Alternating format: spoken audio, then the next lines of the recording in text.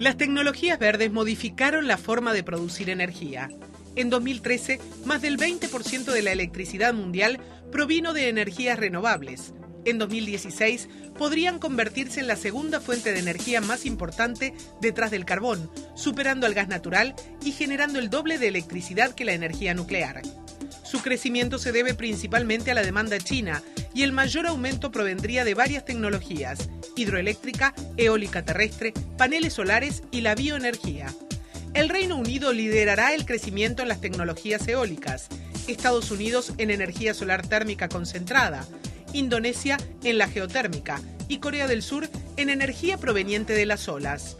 Contrariamente a las energías convencionales como el gas, el carbón o el petróleo, cuyas reservas están geográficamente concentradas, todos los países tienen al menos una abundante fuente de energía renovable y explotable. El desafío es desarrollar tecnologías y adaptar las redes existentes a fuentes de energía descentralizadas y por naturaleza irregulares.